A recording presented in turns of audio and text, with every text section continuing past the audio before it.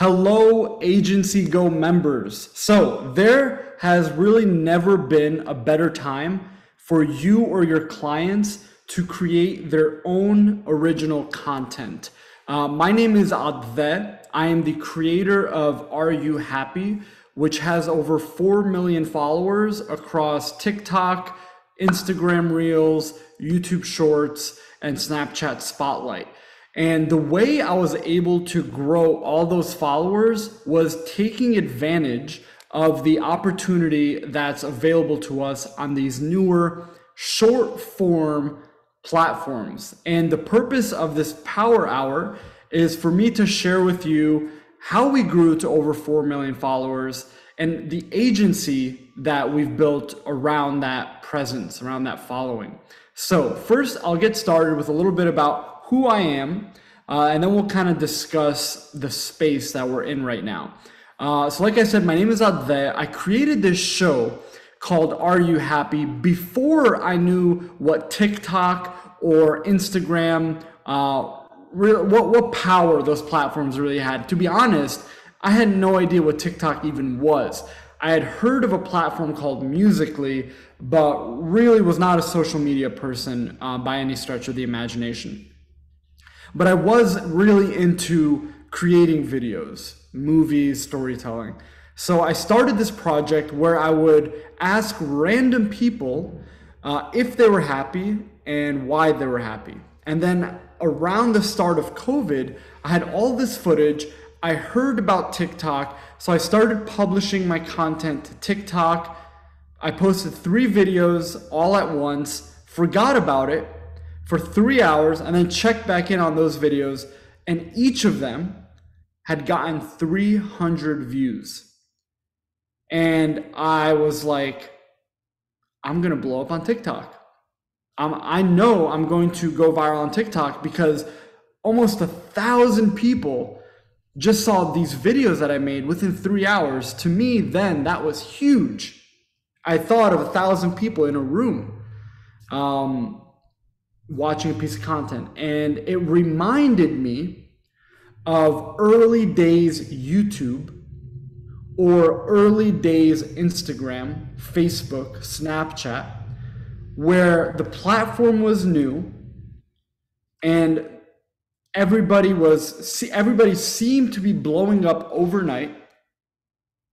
And when I saw those videos each get 300 views each I immediately realized that that opportunity is now present again. Over over time, that opportunity has crystallized more. So I don't want to I don't want to make it seem like a like a come to Jesus moment. But truthfully, I was a kid in 2007 during the rise of YouTube, uh, dying to be featured on YouTube. I was a little older, but still young when uh, Instagram was going wild in 2016. I saw it happen. I saw people blow up overnight and businesses explode uh, through their Instagram, Snapchat, and all that.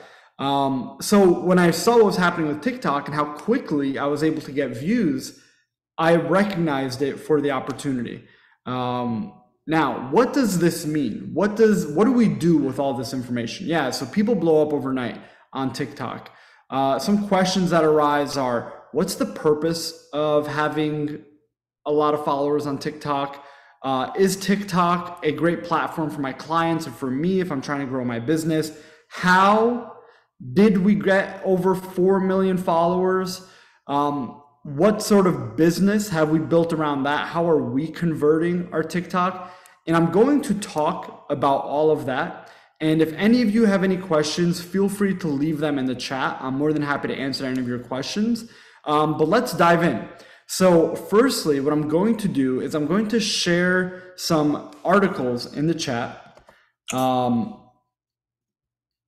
that you can sort of peruse that shows you the strength of these new short form platforms um, and how they've kind of disrupted the social media market and marketing, honestly, in general.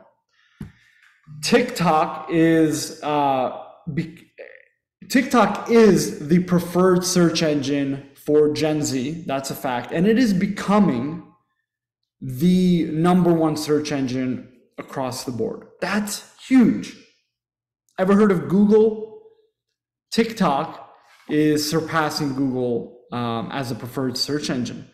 And Instagram Reels um, and YouTube Shorts have a lot to do with that as well. Um, companies like Mr. Beast's uh, Burgers or uh, Logan Paul's Prime or Emma Chamberlain's Coffee, these companies are an indication of what brands and larger businesses will do in the next 12 to 24 months. The power of owning your distribution through your followership and through your social media presence is becoming more and more known throughout the industry.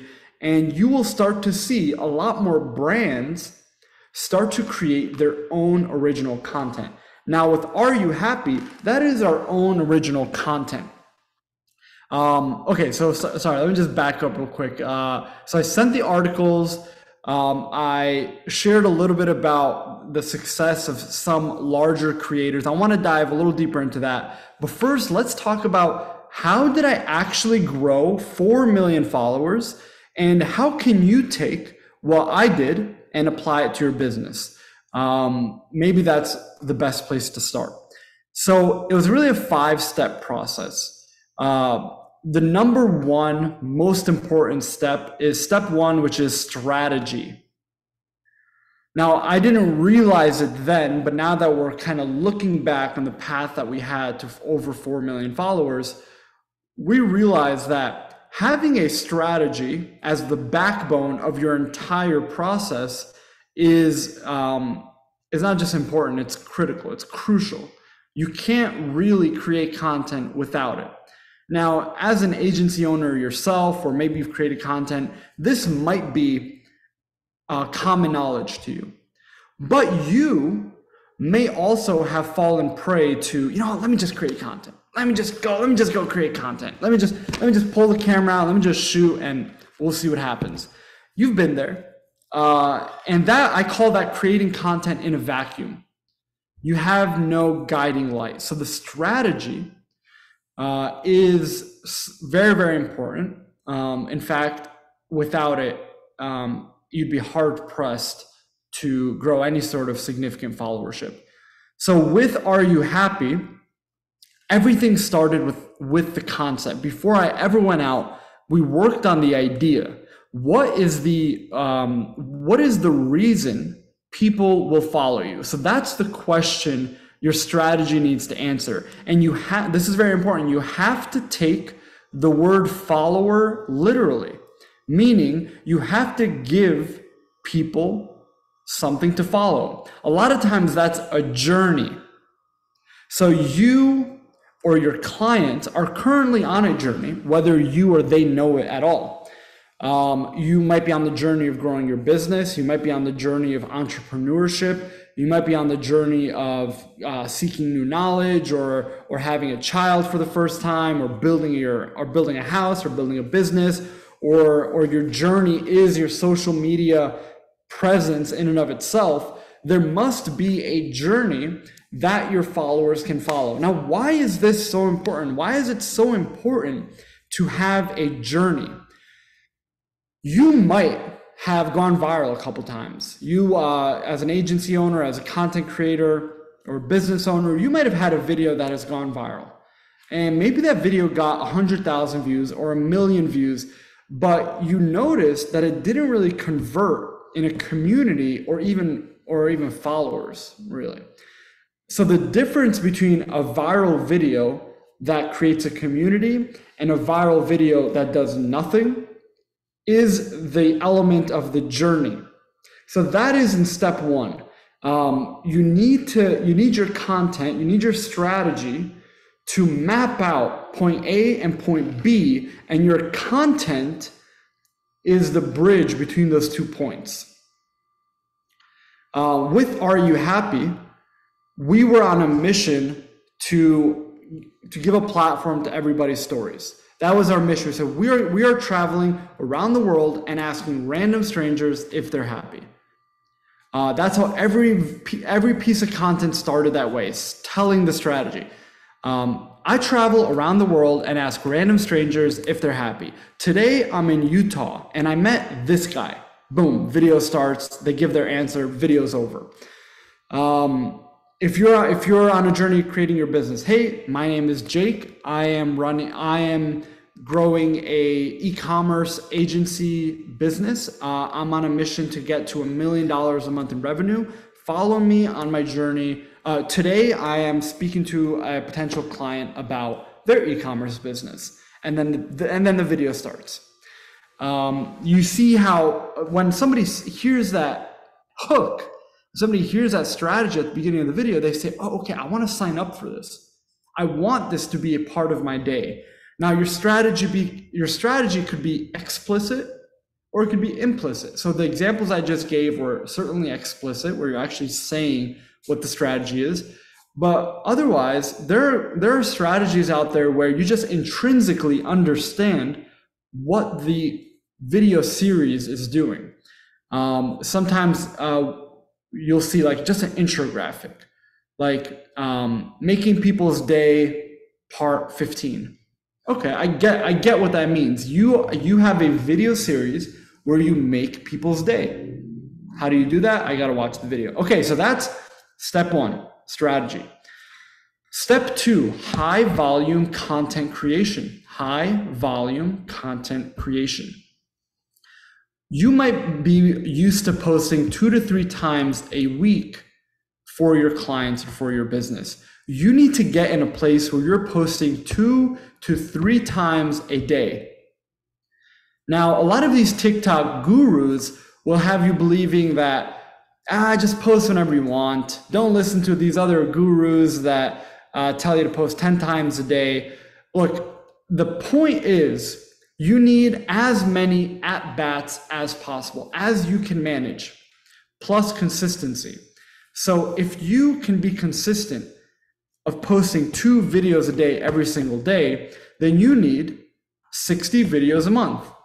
And in order for you to have 60 videos a month, you will probably need to shoot. So 60 videos a month, if each video is a minute, that's one hour of footage. You'll probably need to shoot two to three hours of footage.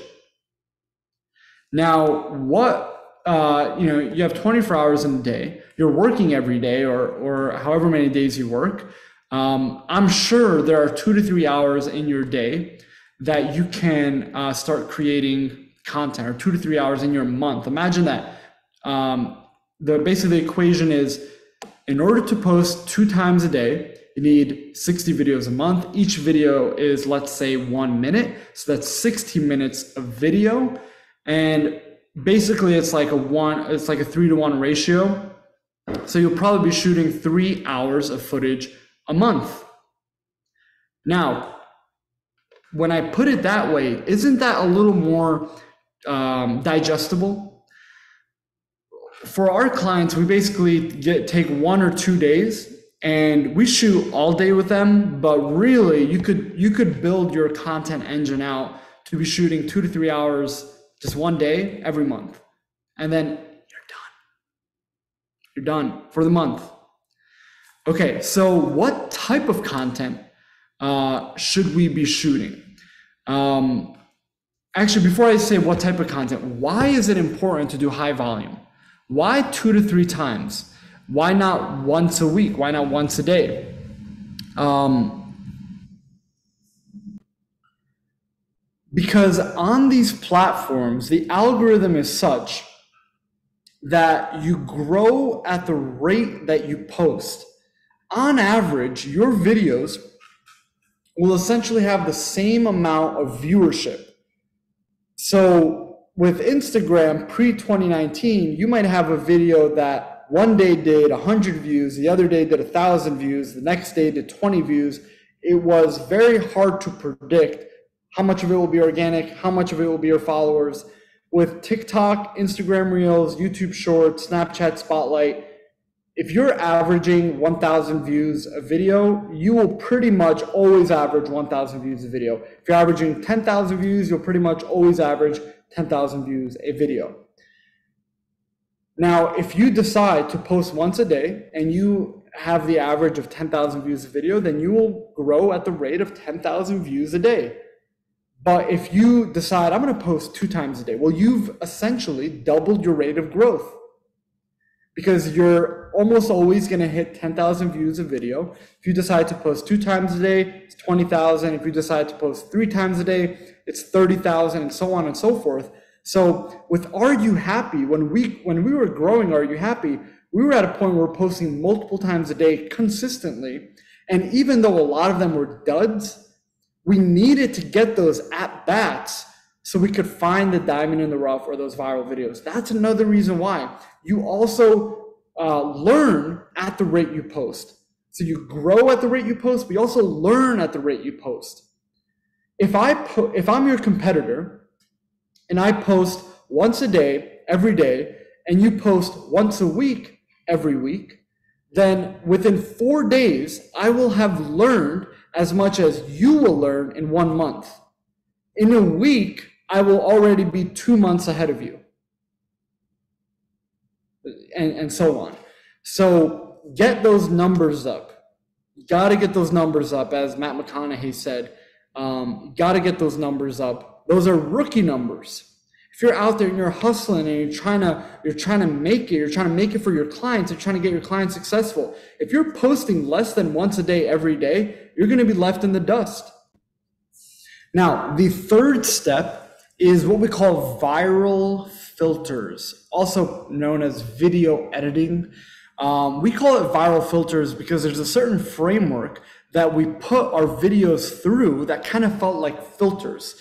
When we were creating Are You Happy videos, we might have shot one video uh, for, say, 10 minutes of footage, uh, and we whittled that down to one minute. Or we might have shot even a whole day and whittled that down to one 60 second video. Um, so, and when we were doing that, it felt a lot like we were putting the video through filters. And we identified a couple different filters that if you take your raw footage and put it through them, no matter what kind of footage you have, it will do well. So I'm going to share my screen here and show you exactly what those filters are and what we're looking at when we're in the third step of our uh, of our process, which is the viral filters or post production. So firstly, whenever you're editing a video, by the way, feel free to send this to your editors or your client because uh, a lot of times they, they'll just take my video and just, hey, editor, follow these steps for your next videos. And, and trust me, if they actually follow it, they will go viral. Okay, so every video uh, should have the intention of doing one, two, or all three of these things. If you're in the marketing space, you know all this. So uh, I'll just gloss over that part. But this is where a lot of our my marketing friends and gurus get it wrong. They're still stuck in the world of first three seconds needs to have a hook. Um, wrong. First frame needs to be your hook. Literally frame zero zero. So to your editor, bring bring that uh, playback arrow all the way to the beginning of the timeline and place your hook right there. So uh, that hook is defined as anything that uh, makes the viewer pause, think, be surprised, or be intrigued to learn more. So in all our videos we create for Are You Happy or for our clients, we are always, always including a hook right on frame zero. And that's because the user behavior on these short form platforms is such that they're swiping swiping like this at a very rapid, uh, in a very rapid fashion. So that first hook gets them to do that. Just lift. That's, that's all we want them to do is just lift the finger off the black mirror. Now, Depending how good our hook is, we have time to explain. So this is when you or your client will talk about their product, the value prop, the brand goals, the brand mission, uh, any sort of messaging you want to communicate. You have one second to 10 seconds. So that is determined by how good your hook is. Um, so if they're swiping, that expl- you know the, the first hook makes them go like this by the time you're done explaining, you know, as as soon as you start explaining, the finger is going down to swipe away, and now watch what happens. That second hook, this is really the we're giving away the Krabby Patty formula here. The second hook is the part in the video that sounds like, but did you know? Or but then, or except. Um, it could also be where, mu- where music starts in a really powerful way. So, user behavior is swiping very fast, first hook, and then the finger goes down while you explain. And the rate, the speed at which it goes down is depending how good your first hook was. The finger goes down, and the second hook makes the hand do this. Drops the hand by the side. And sometimes their head even goes like that. Huh. Then you have another chance to explain, and same same go same thing here. You could go in depth about what your story is, uh, whatever the video is about, whatever you're selling, whatever the value prop is. Then, this is my favorite part always leave early. Um, a lot of times, you, when making your video, you feel like you need to include all the information, keep everything in there. As much as you can pack into 60 seconds, keep it in there. Wrong. Short form platforms work on a loop.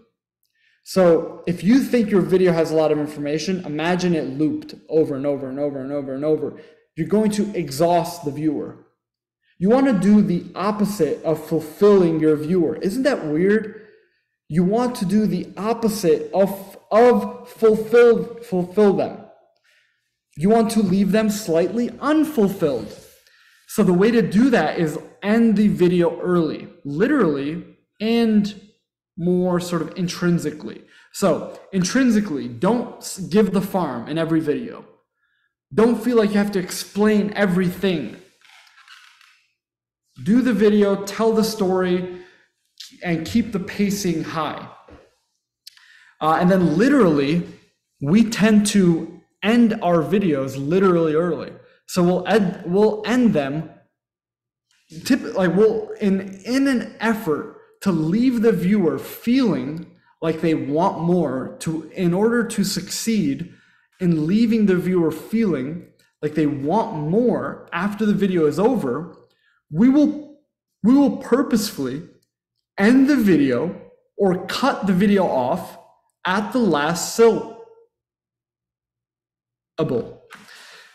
And because it loops because the video loops the viewer understands the word that you're cutting off, but also it'll loop again. So they'll they'll just stay on it. They'll want another dopamine hit. Okay, so that is step three. Step number four, account management. So is it enough to uh, shoot a viral video or have a viral strategy in step one, shoot a viral video in step two, edit a viral video in step three, and then just post the video? Is it enough? Is that enough to get you over uh, 4 million followers. No. So, what we do for our clients and also what we did for Are You Happy in order to get it to over 4 million followers is we do strategic account management. So, we'll of course schedule the post. The time is based on the analytics. We will um, we will review the content market.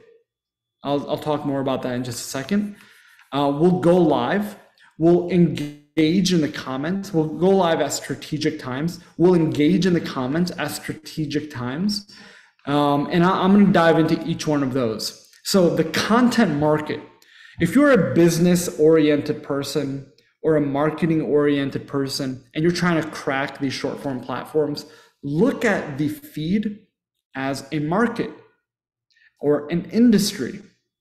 And so when you're posting, when you're managing these accounts, the algorithm will determine what market it will present to you based on your behavior.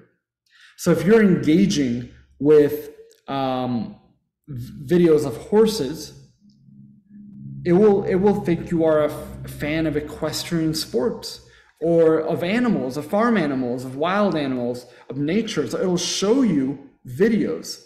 And that is your industry, that is your market. So as a uh, agency owner or somebody who's trying to grow their following or somebody who's trying to grow their clients following, train that FYP to reflect the market or the feed that your or your clients target customers are also watching. Now, this is very important, so I'm going to say it again. Your FYP or your For You page, your feed, is a market. And the videos that are served to you through that market are based on your behavior. So if you mimic the behavior of your target client or your client's target customers or target users, the feed will start to give you videos that it thinks your target customer or your client's target customer wants to view. So you want to, we call it training the FYP. So we train the FYP to serve us videos that our uh, our target customers are watching. It's like it's it's as if you were to have the opportunity to walk up to your dream client. He's got the money, he's got the problem, you've got the solution. You're a per, you're a match made in heaven, and you pull out his or her phone and you open the FYP, and there it is, the gold mine. That's the sort of content they personally like to watch. And you say, okay, I wanna, I wanna be there. I wanna be in that feed every day. I want them to see my face every day. I want them to see my company's content every day. In order for you to get the peak at that gold mine, you need to train your FYP to give you videos that it's giving that person to. So if your target customer is into horses, you you better train your FYP to give you horse related content. So then we look at the gaps in the content market. So just like as an entrepreneur or a marketing person, you are looking for gaps in the market. In business, you want to look at what problem isn't being solved or what problem is being solved the wrong way. How can I introduce my thoughts, my ideas to fill that gap and build a business around it? Or with marketing, you know, uh, what USP, what what perspective isn't being used? Um, what sort of copy isn't being used? What problem isn't being talked about the, the right way? How can we be more unique? These are all looking for gaps. So with building, with managing the accounts, you also want to look for gaps in the content market. Oftentimes, you are an expert in the field. Like if you um, if you're trying to create content about horses, more than likely you like horses. You you're creating content about it. Uh, so you will know after after seeing the feed of horses, you will know what sort of what sort of content is being made and what should be talked about. Um, you know, you know, maybe you you're used to watching TV, and then anytime a TV show is talking about an industry you're an expert in, you're like, ah, oh, these people know nothing. It's like a doctor watching General Hospital. They're like, ah, oh, this, this, this is all fake. This is all TV show. They should have done this. They should have done this. They should have done this. So when you're watching your your FYP, use that knowledge from the account management to also inform step one. That's where we have a lot of interdepartmental conversations at, at our at our agency. Um, okay, so other things you can check on is like what hooks are people using that I uh, that like what hooks aren't people using that I could be using, and a lot of times you might think that following trends, like going through the FYP and following trends, is how you should be conceiving of your strategy or your ideas. It's actually the opposite. You should look at trends and say, that's what I shouldn't do. Because we don't want to be the trend chasers, we want to be the trend setters. And the way to set the trend is by looking at the gaps in the market and filling that gap. Um, okay, going live. Um, I highly suggest going live after posting your video, or if a video is going viral, go live. Why? Because for some reason, the algorithm has pushed your video. The algorithm gods have chosen your video and um, and and picked it to go viral. And um, you want to leverage that success by going live. And then when you go live, you have the full attention of the viewer. They see your video on the feed, they see that you're live, they click on the live, and then you start giving your bottom of funnel messaging. Um, and then strategic times, look at your analytics. It'll tell you what times you should be posting based off of what time your followers are most active. If you don't have enough followers for that data, I recommend 12 p.m. Eastern Standard. They're awake in the UK, they're awake in LA, they're awake in New York, and everywhere in between, I guess.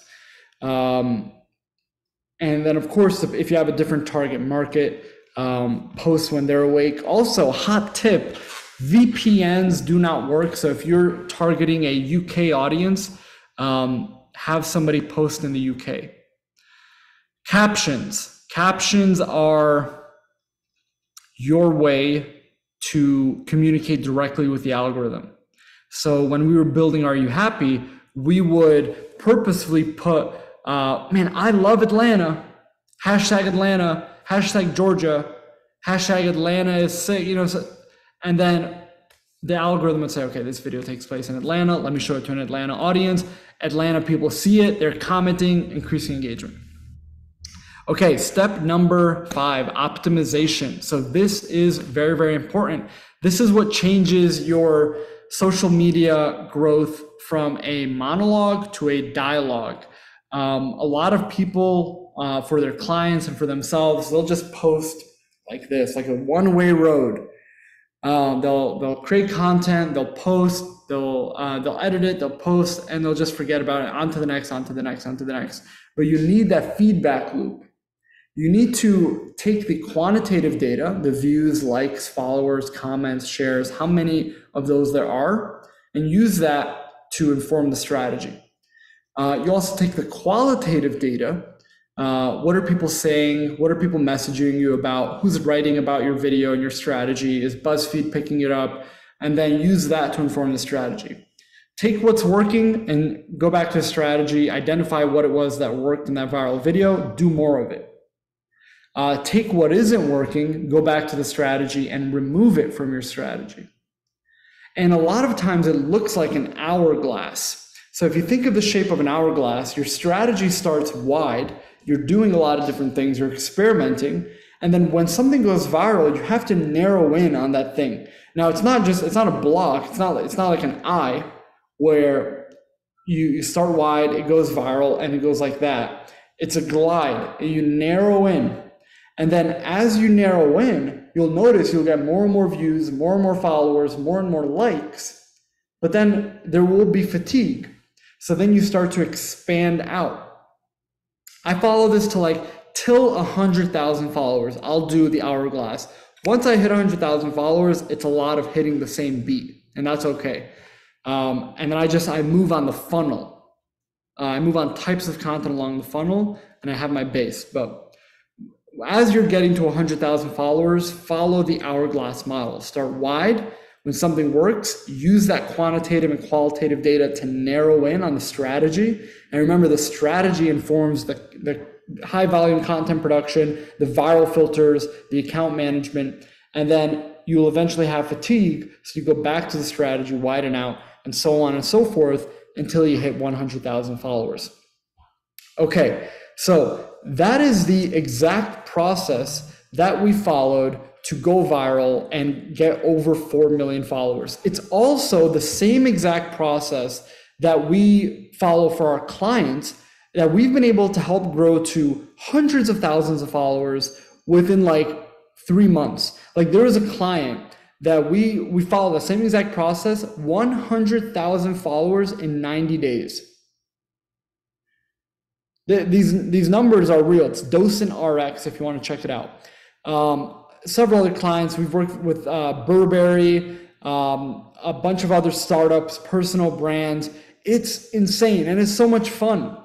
And the opportunity that's in front of us and the opportunity for our clients to succeed is unlike anything we've seen before. I understand YouTube 2007, Instagram 2016, but this is short form. And if you know how to do it right, the, the opportunity is wide open. Um, and it probably will be for the next six to 12 months, I'd say. And then as ads start coming in, it becomes a lot harder.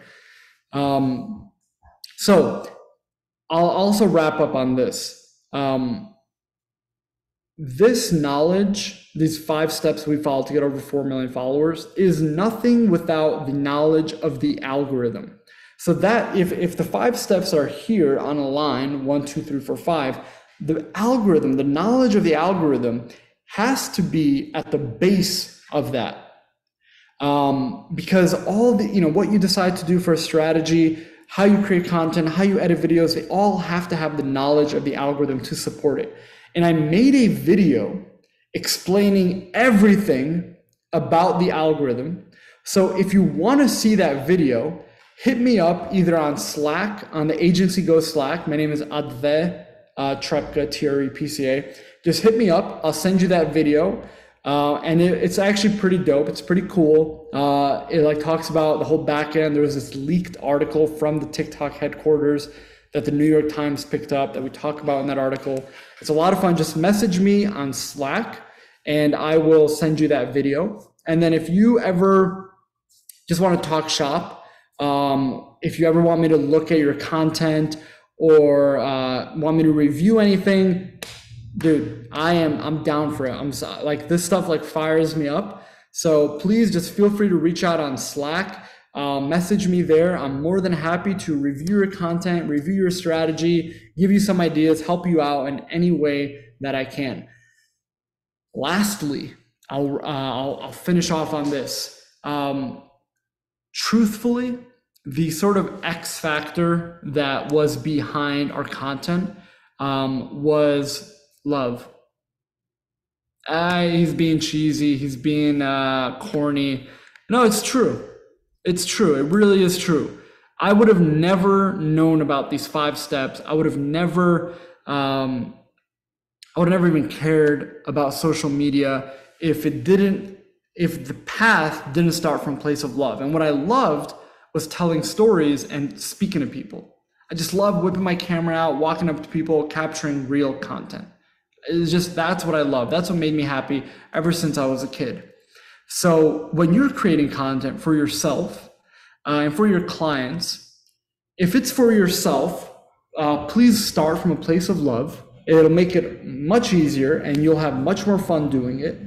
Um, and then if you're doing it for a client, think about what their target customer, target clients love do they love to be educated on equestrian sports? I don't know why we're on horses all of a sudden, but uh, what do they love? What what do they love? What do you love? And start from there, um, and then the rest basically falls into place. And these five steps that I just shared uh, will just guide guide that path a little a little clearer. Uh, if I had known those five steps, I would have I would probably be a couple years ahead by now. But it's all good. Um, so so good to meet all of you. Like I said, if you have any questions, hit me up on Slack. My name is Atdhe, A T D H E. Peace.